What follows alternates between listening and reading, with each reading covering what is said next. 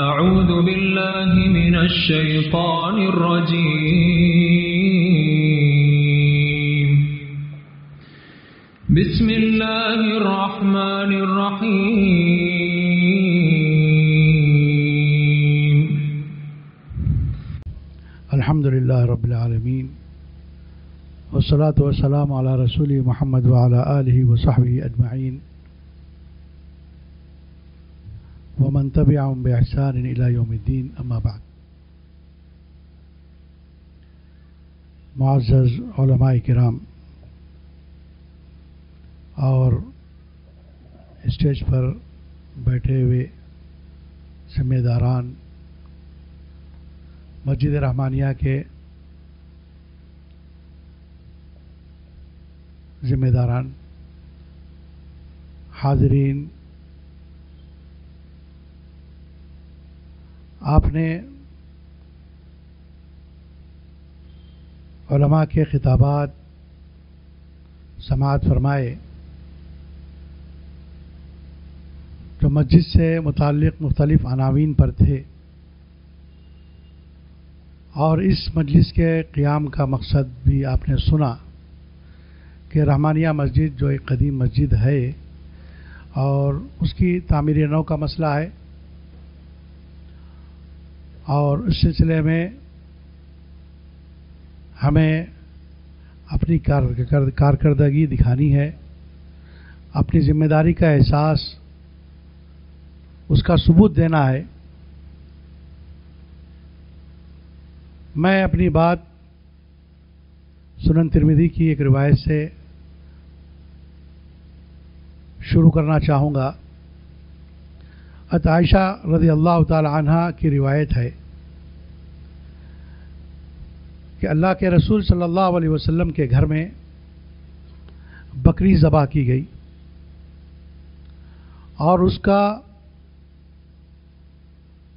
बेशतर हिस्सा गोश्त तकसीम कर दिया गया सिवाय अगले शाने के, वो रख लिया गया। थोड़ी देर के बाद नबी करीम सल्लल्लाहु अलैहि वसल्लम अपने घर में तशरीफ़ लाए और आयशा रदी अल्लाह से पूछा कि, अय आयशा, तुमने उस बकरी के गोश्त में से क्या बचा कर रखा है? आयशा रदी अल्लाह बड़ी समझदार थी,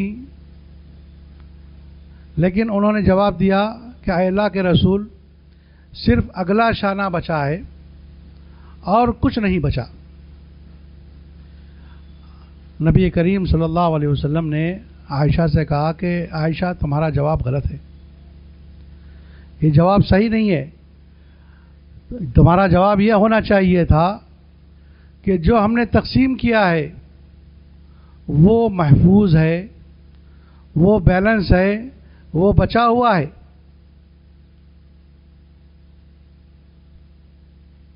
लिहाजा ये हदीस हमें ये बतलाती है, हमें ये सोचने पर मजबूर करती है कि हमारे सोचने का जाविया क्या होना चाहिए, हमारे सोचने का अंदाज क्या होना चाहिए। आज हम ये सोचते हैं कि जो हमारे जेब में है, जो हमारे घर में है, हमारे लॉकर में है, हमारे बैंक में है, वो हमारा बैलेंस है। वो हमारा माल है वह हमारे लिए, हमारा महफूज हिस्सा है। जबकि नबी करीम वसल्लम कहते हैं कि जो बचा हुआ शाना था, वो वो महफूज आपने उसको करार नहीं दिया, बल्कि आपने उसको महफूज करार दिया, जो हिस्सा गरीबों में तकसीम कर दिया गया था, पड़ोसियों में बांट दिया गया था, दूसरों को दे दिया गया था। लिहाजा हमें अपना, अपनी सोच बदलने की ज़रूरत है। अपना सोचने का अंदाज बदलने की ज़रूरत है कि जो हमारे पास है, हमारे हाथ में है, हमारे जेब में है, वो असल में हमारा नहीं है। हमारा तो वो है जो हमने अल्लाह के रास्ते में खर्च कर दिया है।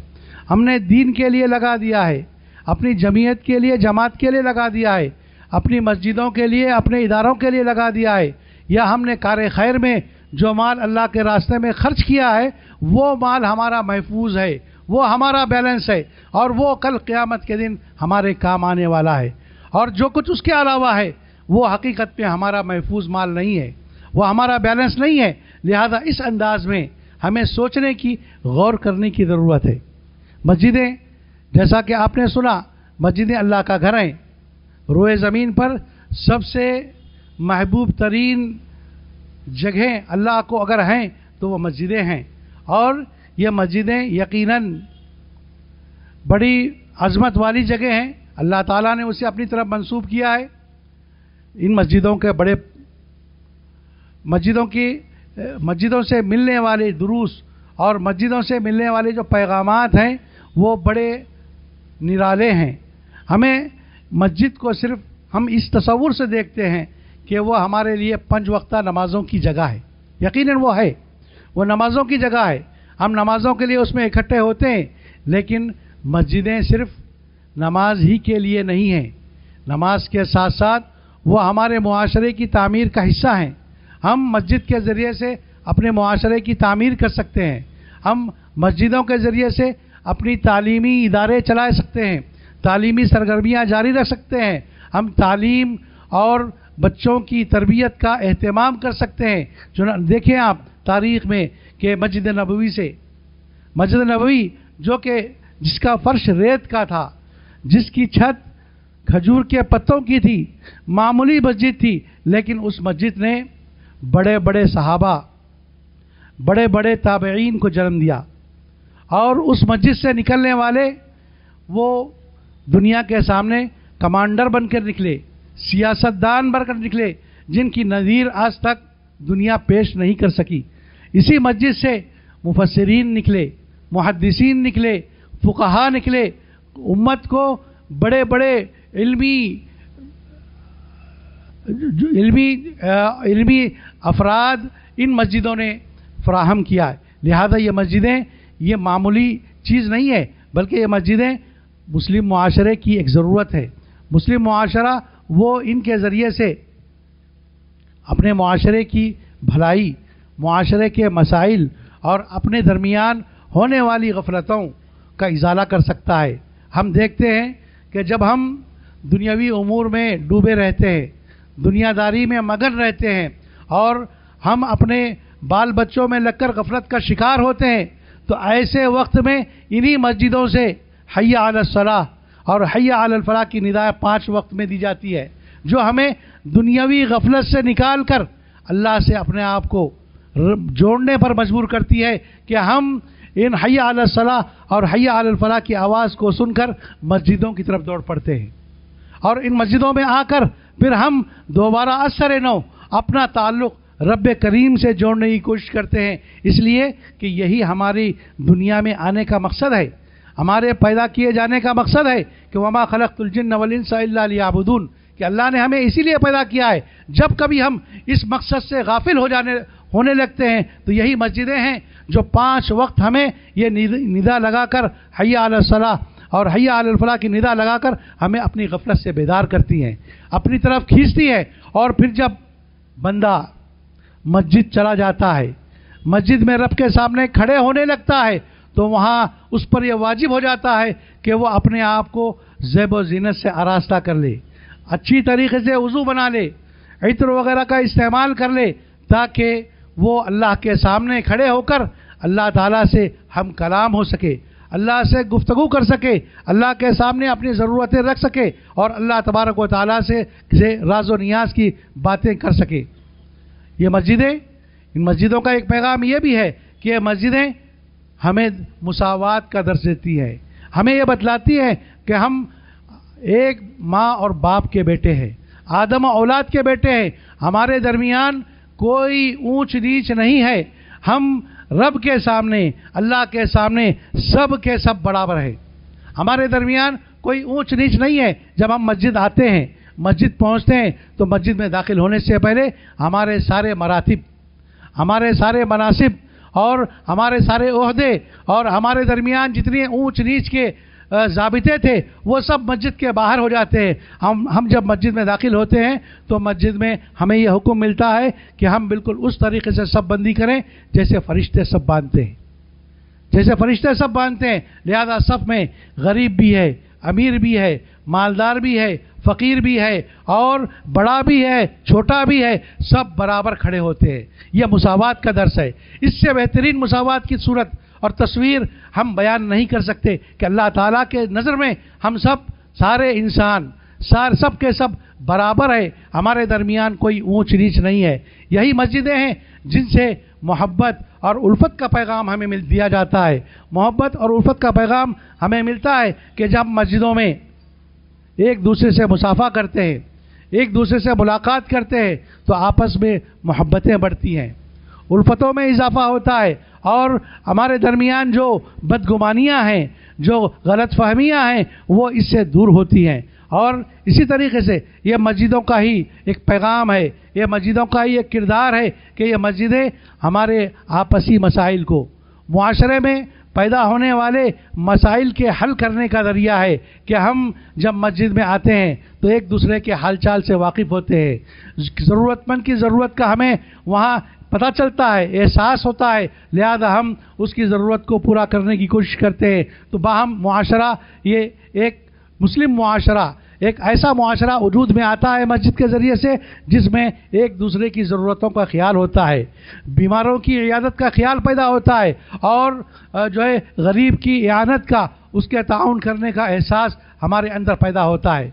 इसी तरीके से मस्जिदों का एक किरदार ये भी है कि वो माशरे में, अपने मोहल्ले में, जहाँ मस्जिद से हम मरबूत होते हैं, मस्जिद से हम बन जाते हैं, मस्जिद में हम आना जाना शुरू कर देते हैं हम मस्जिद के मुसल्ली बन जाते हैं, नमाज़ों की पाबंदी करने लगते हैं तो माशरा वो गुनाहों से, बुराइयों से पाक साफ़ होने लगता है कि जो है वो मुसल्ली, वो नमाजी, जो नमाज़ का पाबंद होता है तो उसके दिल में अल्लाह तबारक व ताली ईमान को मज़बूत कर देते हैं और वो अल्लाह से, उसके रसूल से और अमल साले से मोहब्बत करने लगता है। जब ऐसा होता है तो वो बुराइयों से और गुनाहों से और दीगर गलत आमाल से मुतनफ़िर होने लगता है, उसको तर्क करने लगता है। इसीलिए अल्लाह ताला ने कहा इन नसलातनफ़ाशाई वलमुनकर कि नमाज़ इंसान को बुराइयों से और बदकारियों से रोकती है। लिहाजा ये मस्जिदें बड़ी अजीम जगह हैं।